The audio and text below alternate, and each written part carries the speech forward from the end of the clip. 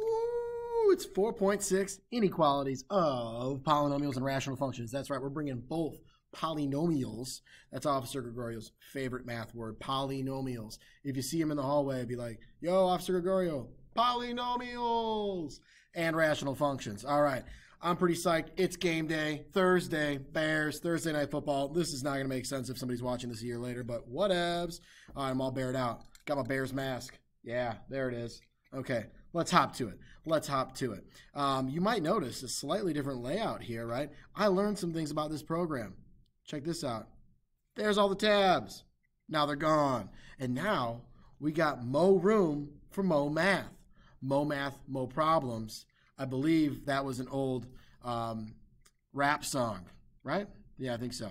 Anywho, um, G-Eazy has an open top box manufacturing company. Look at that. We're bringing back little polynomial action, little polynomial app. The company slogan is No top box is the easy box to open. That's a pretty solid slogan, I'd say. I'm happy with that one. Uh, maybe G-Eazy will do this. Uh, they cut squares from the corners of a 12 centimeter by a 36 centimeter piece of sheet metal and fold the metal to make an open top box. They usually use like what's called a metal brake and it bends it, right? it's a little tough to bend and fold metal, so they use what's called a brake. It doesn't actually break it though. Fun fact. All right. We want to write an equation to model the volume as a function of x where x represents the height of the box and v of x represents the volume. Okay, I already said volume is a function of x. That's all good. So let's go ahead and uh, I'm going to get a marker up here. I don't believe that'll show up well. Here we go. We'll go blue. All right. I'm going to zoom in a little bit so we can label some things. We got a 12 centimeter, so 12. Whoa, that is that is uh, a little too big. That's not going to make any sense. Here we go. 12 centimeters this way. And I've got 36 centimeters this way. Okay, awesome. Now, x is going to be our height. So if we were to actually fold this thing up, I'd have x. Actually, I'm going to put them here on the dash lines. x and x. So all of these would end up being my x values. And how do I know that that's my height? Well, when I fold this up, now that's the height of the box. When I fold the other way, I don't know if I can contort my hands. Fold it up, it's okay, right? Um, if we were to draw out a three-dimensional picture of this, I'll do that real quick. There it is. Look at that, blue and orange bears. Um, so this would be my height of the box. This would be my X right here, okay? Now, we're talking about our 36. Well, what's the actual dimension of the box then? I'd have to take off uh, not only this x value, but also this x value, leaving me with 36 minus 2x. And this may look kind of familiar to you. That would be our longer dimension here. I'll, I'll go um, 36 minus 2x right here. And then the same goes for my 12. I'll have 12 minus 2x. So we'll have 12 minus 2x here. I think it helps to have that three-dimensional drawing as well as the flat with the dashed for how we're folding this thing and we're cutting out these corners. So all these corners will end up getting cut out of here, right? All those are going to get cut out, and then this whole thing will be will be folded up. Those will be gone. Okay. So let's figure out our volume here as a function of x, because that was what our next move was, right? Okay, so my v of x ends up being all three of my dimensions because our volume formula is, if you don't remember, length times width times height. So I will have, uh, I'm going to throw the x out front. I'm going to throw my x first, my height. Multiplication, I can go in any order. I like throwing the x out front. 12 minus 2x and 36 minus 2x. So there's my volume function. Awesome. I'm going to leave it in factored form. It doesn't ask for it in standard form. Why would I go through multiplying all that? Sounds like the class period is over. All good. Gotta love that sound. You know, it's like, hey, what's coming up next? I'm on to more learning. Awesome. So determine if you have a positive volume. Okay, so it's not even asking us for the volume here. It's asking us a lot of different questions. Started out the same. Um, do we have a positive volume at V of 13? So when our height is 13. Hmm. Well, what can we do there? How about we plug in 13, right? if I plugged in 13, and what I'm really um, wondering here is uh, my my sign. Okay, I don't even care about the numbers because if I plug in 13, I'll have 13 times 12 minus 2 times 13. And then 36 minus 2 times 13. Um, I'm going to have a positive times, and this is negative 26. So that's going to be a negative, so I'll have a positive, and then a negative number. And then over here, I'll have a positive number. 36 minus 26 is positive. So what's a positive times a negative times a positive? Well, that's going to be negative. And all it's asking for is do we have a positive volume? So the answer for, for this one would be no. All right? That's all it's asking for. It doesn't say what is the volume. It's just saying is it positive or negative. Let's do the same thing for, for a value of 2. If I plugged 2 into each one, it would look like this. Times 2, 36 minus 2 times 2. Well, it's a weird 2. And uh, what I'm going to have is 12 minus 4, that's positive. 36 minus 4, that's positive. So I have um, positive. I don't have room below me, so I'll do this. Positive, positive, positive. So that's going to be positive. Awesome. So our answer there would be yes. It is positive. Awesome. So that's kind of that's what we're getting into here is like where things are positive, where they're negative. So now we're really into the inequality. Part C. The volume is a function of x. When is it greater than zero? I think what might help is to look at the graph of this function. So I'm going to draw up um, a rough sketch. You could see this if you plug this into your calculator, but I'm going to go ahead and draw that up for us.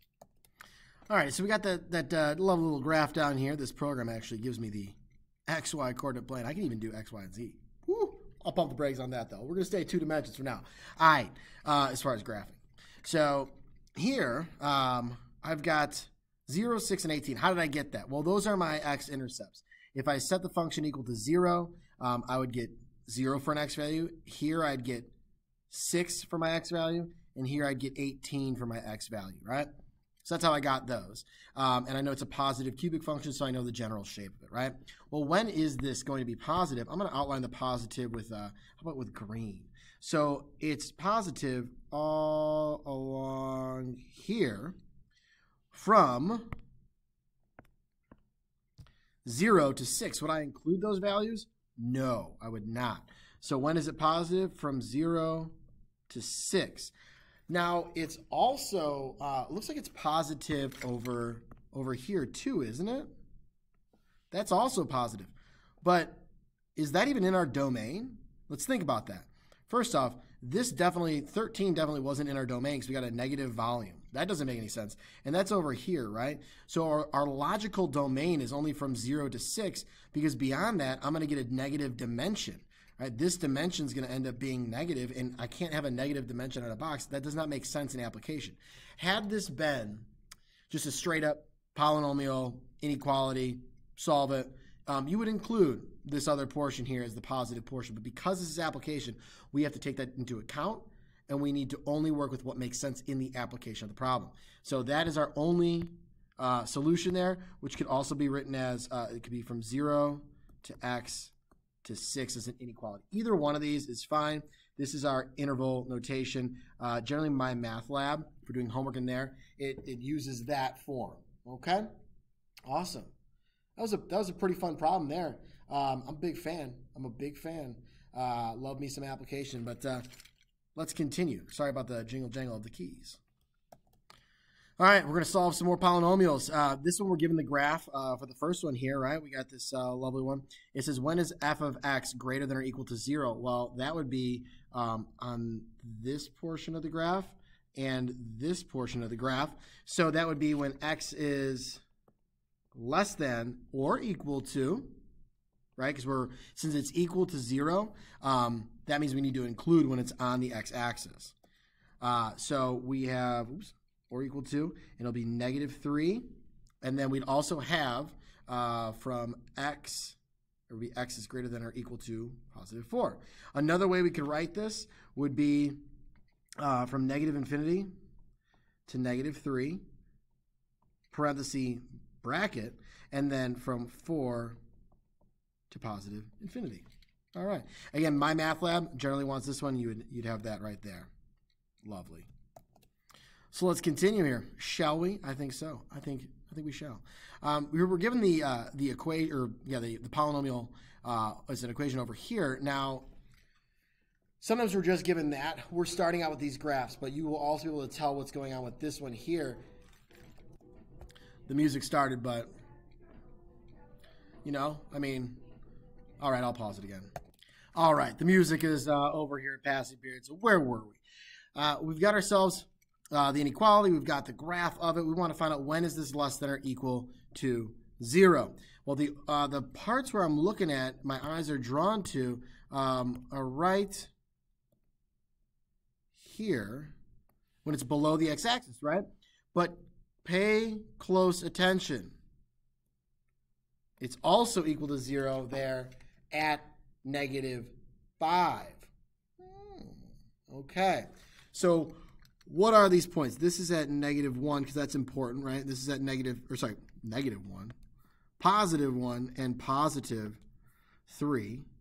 So let's write up uh, when it's less than or equal to 0. So it's when uh, x is equal to negative 5, and it's when it's between 1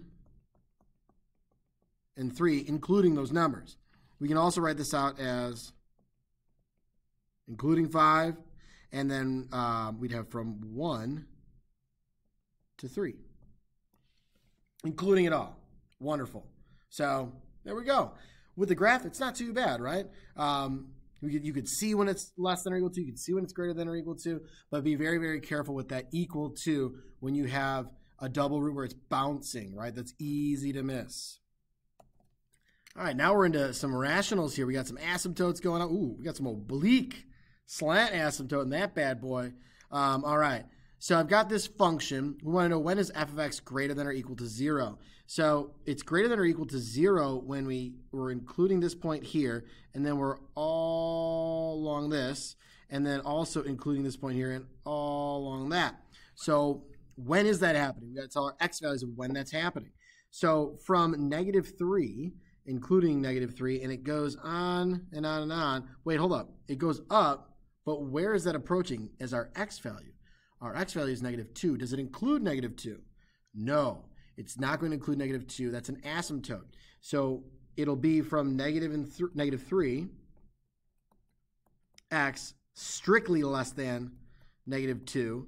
And then we'll also have from negative 1 on to infinity. So I'm just going to say x is greater than or equal to negative 1. So those two right there. And then if I want to put that in an interval notation, I'd be from negative 3 to negative 2, parenthesis, and then negative 1, including it, to positive infinity.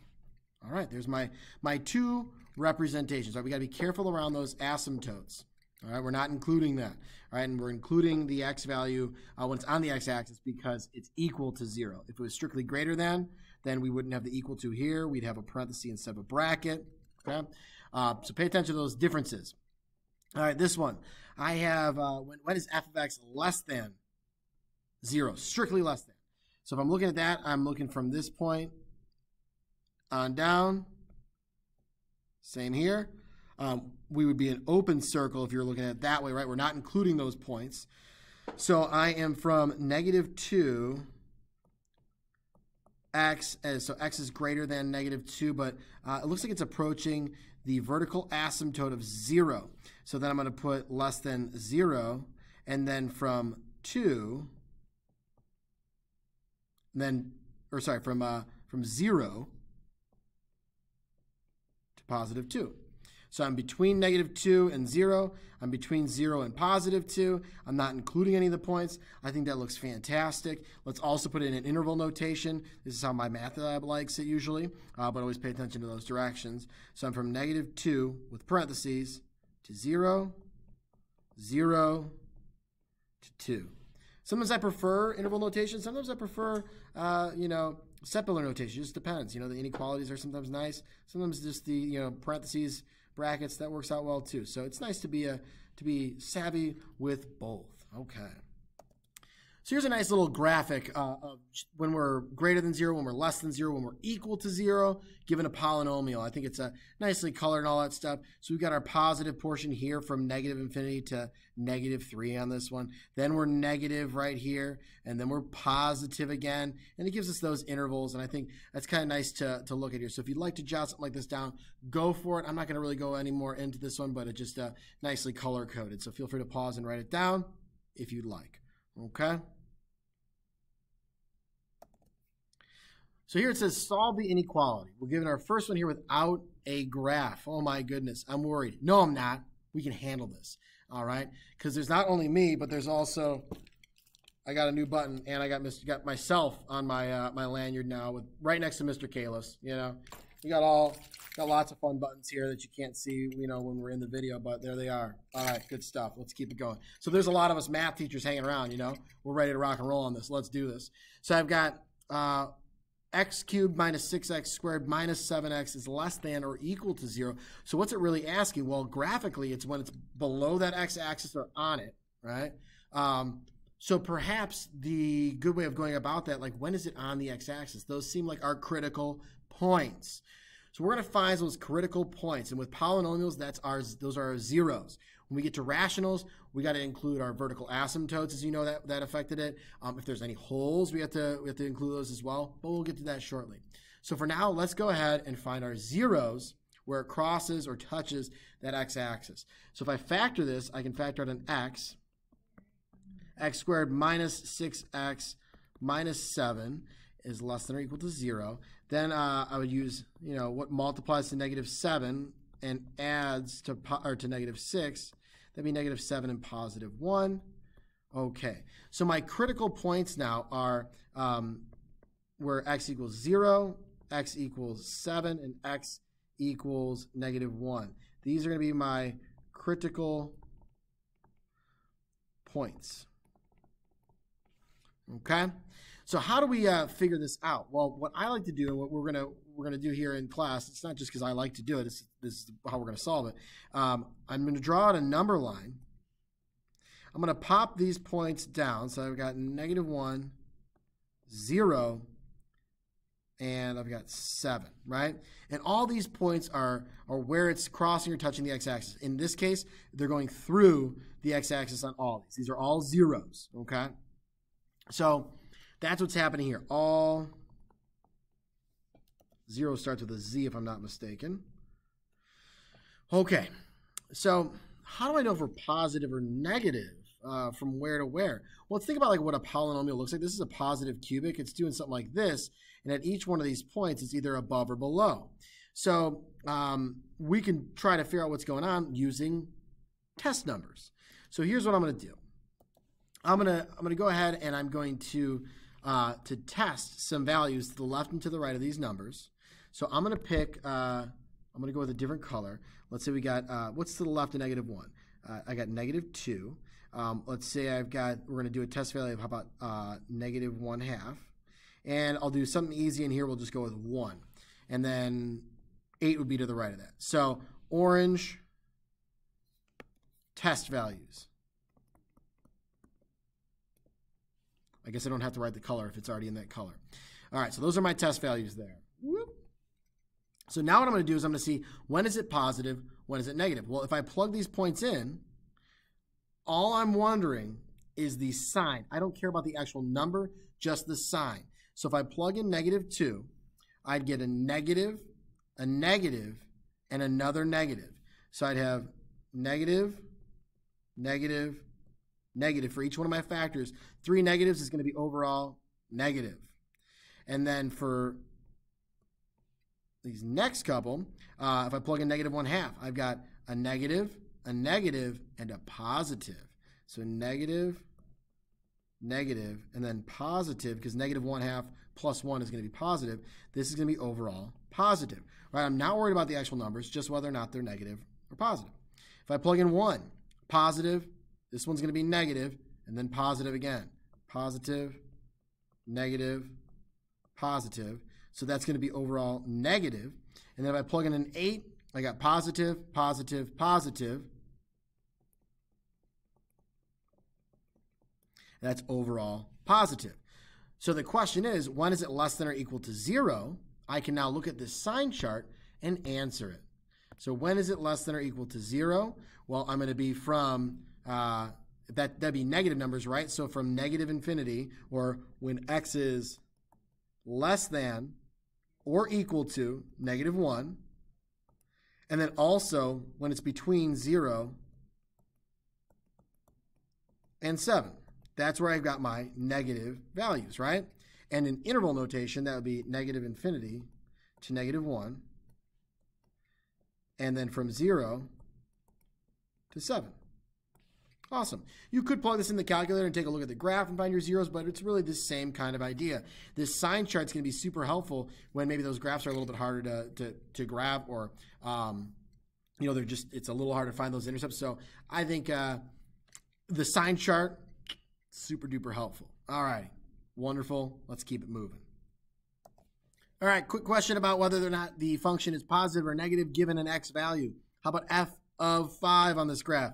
5 is right here. Whoop. We're somewhere up here. That is going to be positivo. How about negative 5? Well, negative 5 is over here. So our graph is way down here. Negativo. How about f of 105? What? I don't even I don't even see that. But I know that it's an x value over here, and based on this being a quadratic, right? It says the function right down there.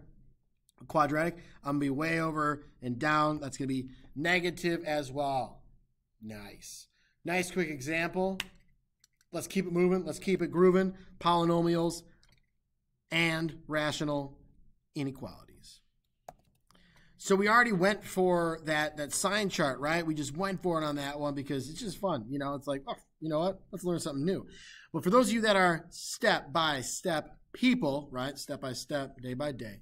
Uh, here we go. Draw a number line. We did that. Find the critical points. Remember, we referred to those as critical points. That's our zeros, uh, domain restrictions. We got our holes, vertical asymptotes, all the good, good, right?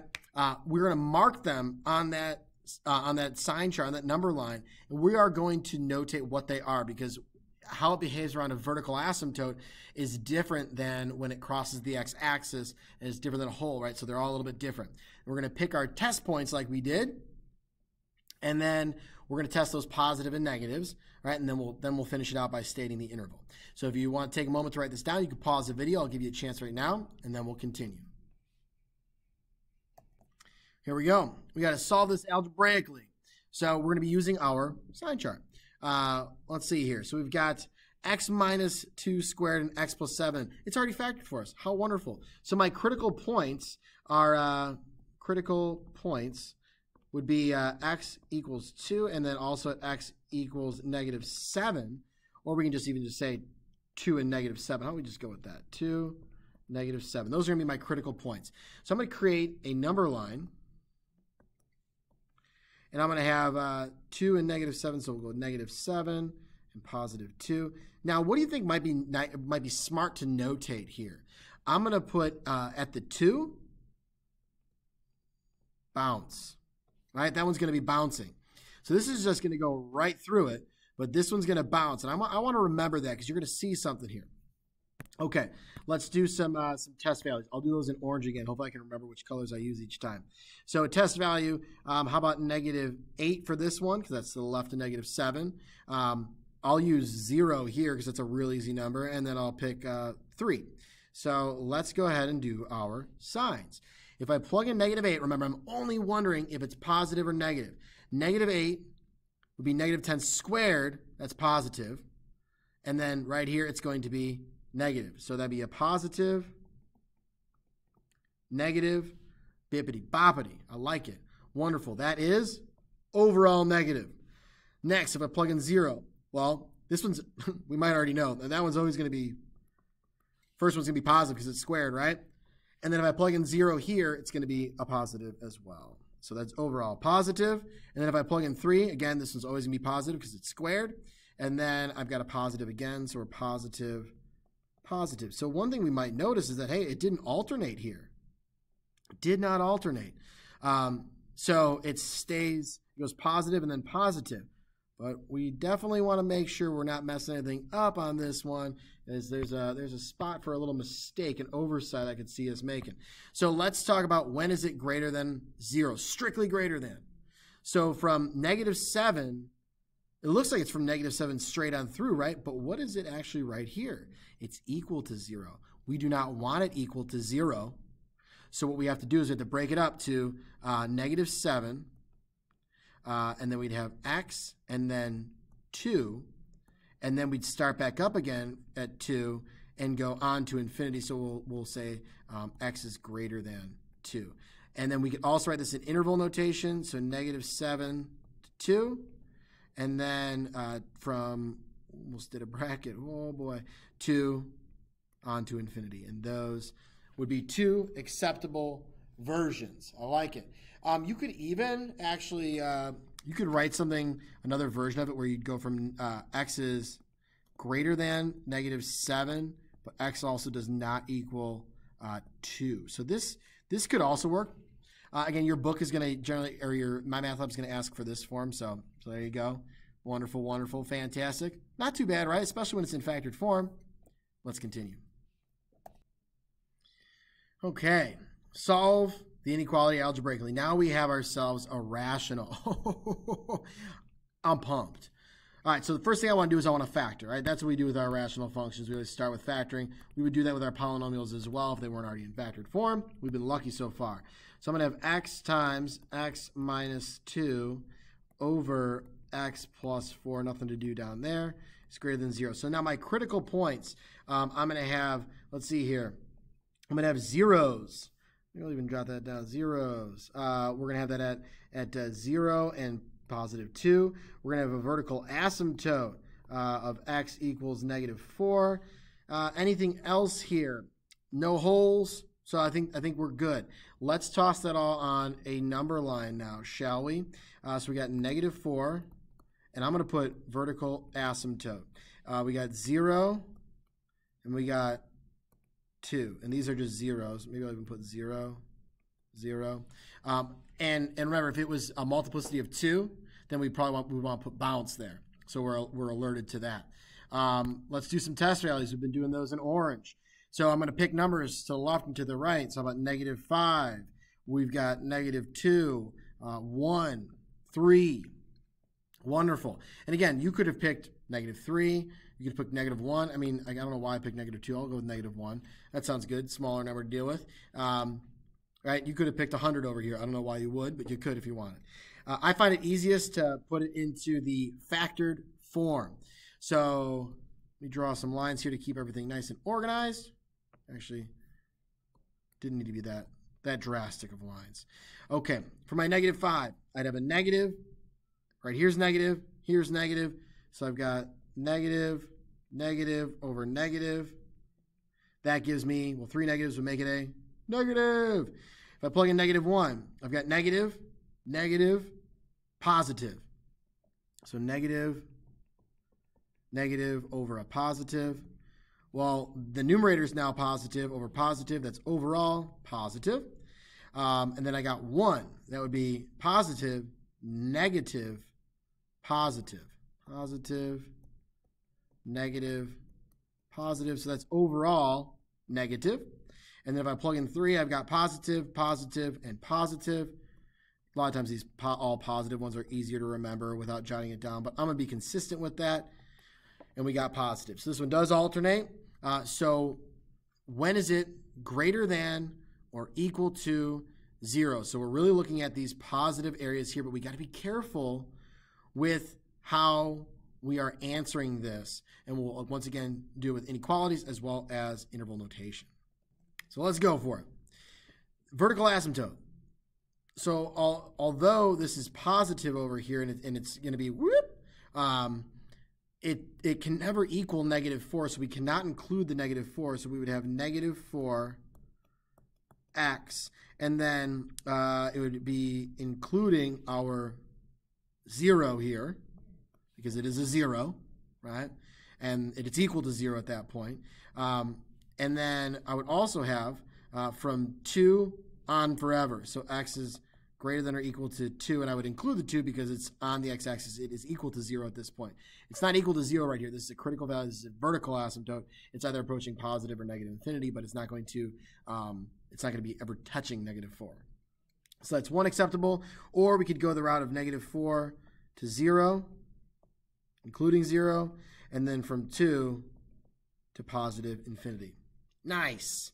Alrighty, so we jot down what kind of critical points they are, so that way we we uh, take care of that in our inequality or, or, in our interval notation there we're answering the question. I love it. This is this is fantastic stuff. This is a great way to spend a Thursday for Mr. Allen.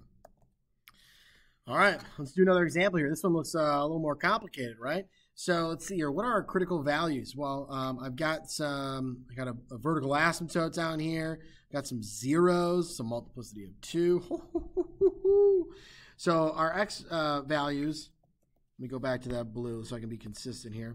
So we got x equals negative one. These are my critical points. Um, we're going to have another critical point at x equals 5, and I think I will leave these as x equal. Um, and then x equals 2. So those are my those are my critical points here. So let's pop those on a number line, and uh, we can even, eh, we'll go with the number line, and we'll label it there. So I'd have negative 1, and we know that that is a 0. Um, we've got at positive 2, that is a vertical asymptote, and it is to a power of 2, so we're going to we're gonna see something interesting there.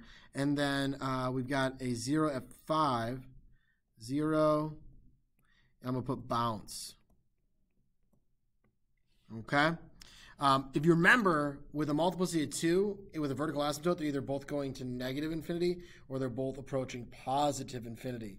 So that is uh, something to watch out for here with this one. Okay, so let's do some test values, shall we? I think we shall.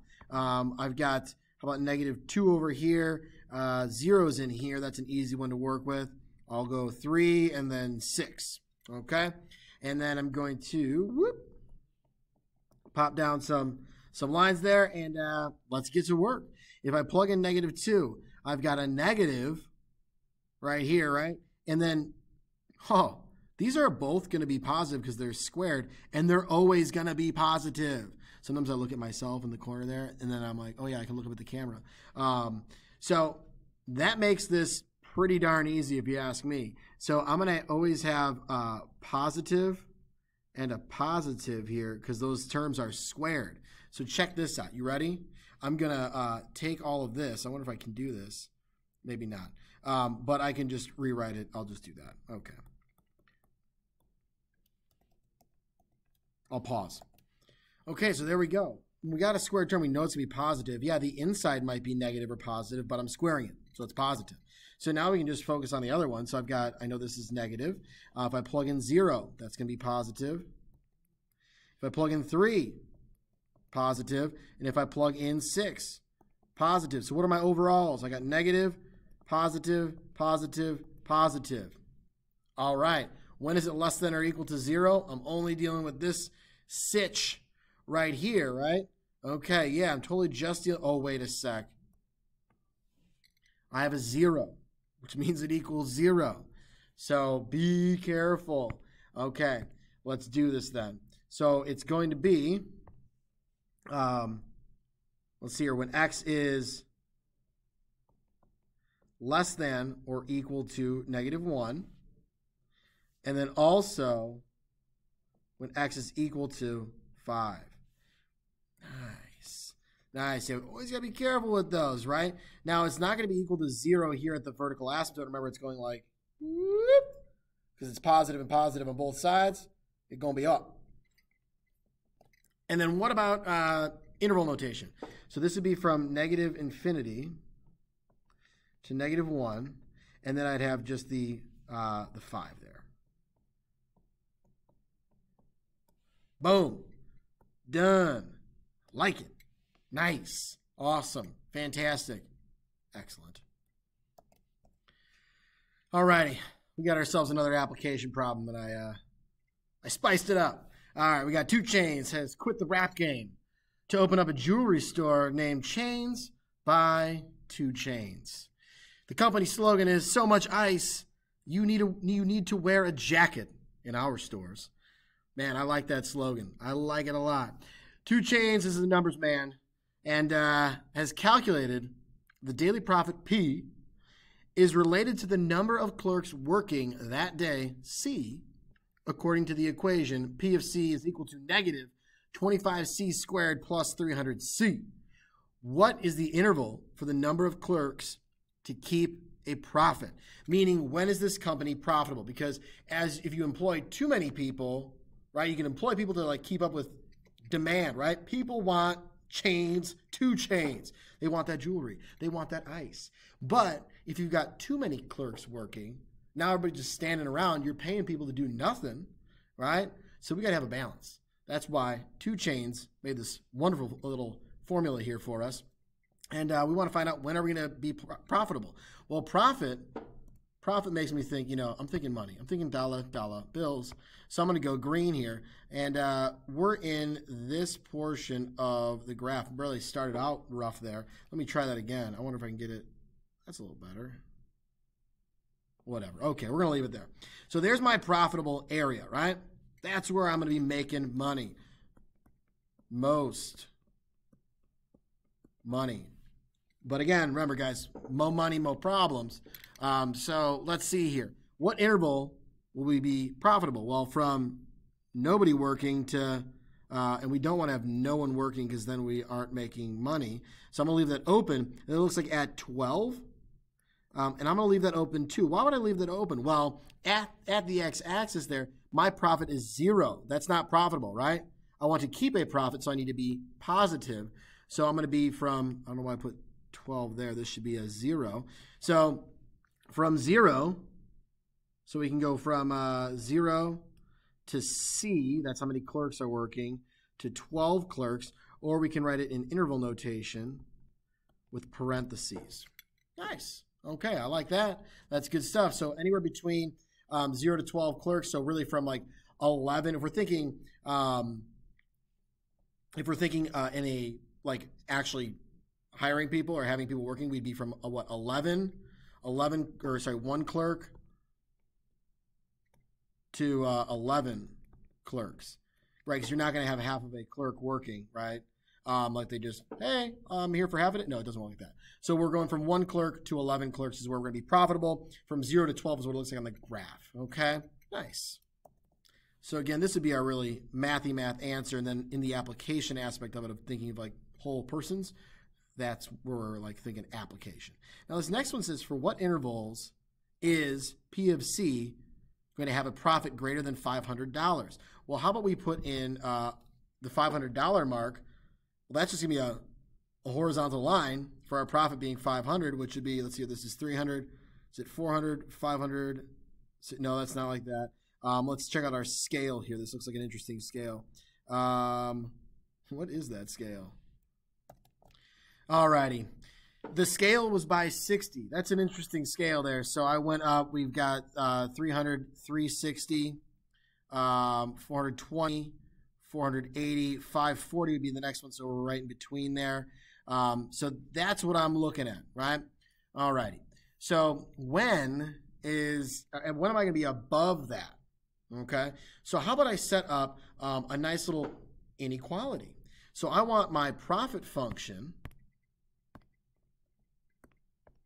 Want my profit function to be greater than uh, 500. So negative 25c squared, and then we've got plus 300c is greater than 500. Right? It's strictly greater than because I want a profit greater than 500, not greater than or equal to. Alrighty, so let's continue. I got my TI-84 up and running here. Um, so I've got negative 25x squared, wonderful, plus 300x, that looks good. I put in for y2 500 because now what I can do is I can use my calculator, find some intersections, and see when it's above that 500 mark, and I can get my x values to tell me where. So we're going to have to adjust our window here because our zoom standard is not going to do the trick. Um, I know that uh, based on this here, we got 12 is my x value, right? So I'm going to I'm just going to go ahead and make this a little bit bigger so I can see a little more of the graph. I'll just go 15. That's fine. Now my y max, that one needs to be adjusted. Um, it looks like on this graph, 900 is the max, roughly. Um, how about we just go with uh, 1,000? I really don't even care. That's 10,000. Um, we really don't even care about the uh, the actual max. I just want to know. I want to be able to see where the 500 intersects. So this should do the trick for us. There it is. And wonderful. I can see the whole graph. I can see everything that I want. I want to find these intersection points. So second, calc, and I'm going to choose number five, intersect. Alrighty, so it says first curve, so I just pick my first one. It jumps down. Notice that is on um, this line here. And you will also see that my up and down arrows toggle me between lines. So I do want this one, and then I'll arrow over to get close to the guess. Hit enter, and my x value is 2. Okay, let's do that. So right here we got 2 comma 500. 2 comma 500. And then let's bring that back up. Let's get the other one. Second calc. I'll pause it. There we go. There's my uh, intersection. I paused so we could uh, save a little time there. Um, and I've got 10 comma 500. So we've got 10 comma 500. So when is it greater than $500?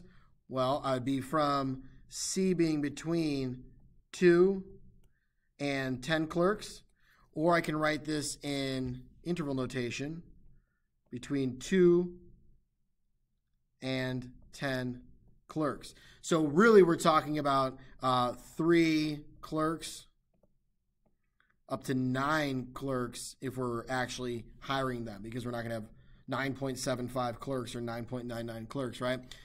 Mathy math application. Boom. I'm very sorry that I know this video is getting a little lengthy, but I'm having so much fun with the application. All right, this last one here. It's going to be a you try it. So if you uh, want to try this one, get some extra practice, pause the video. You'll see the fully worked out solution here in just a sec. So why don't you try it, get your sign charts going, all that good stuff. All right, I'm going to give you a few seconds to pause it before I bring in the solutions.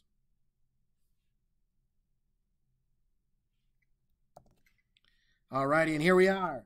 So we got our zeros. We know we have a double root, right? This right here is a zero. This one's a, a zero as well. And here we have that bounce, zero, bounce, right? It bounces at that one. So that's where we get the positive, positive. Now, if we were to write this in um, interval notation, uh, we would have uh, negative infinity to negative 1, bracket around the negative 1, and then from 1 all the way up to positive infinity. We don't have to skip over this because um, it is equal to, right? So we don't have to worry about that one right there. Remember, these are tests. These are our test values. This would be like what we did in the orange, right? These were our test values. Sorry, not those. My apologies. These were my test values. We picked these to see if they were posi- positive or negative. Sorry, I'm circling the wrong ones. There we go. Test values. Could have used three there. But as you can see, these are the ones that they circled, the positives. I like it. It's awesome. Um, I hope you guys enjoyed it. I know I did. I apologize for the length. Um, you guys have a fantastically wonderful day. America, freedom, rock and roll, Costco. Um, River Dog Jenny on the gram. Make sure you're following her. River Dog Jenny. Instagram.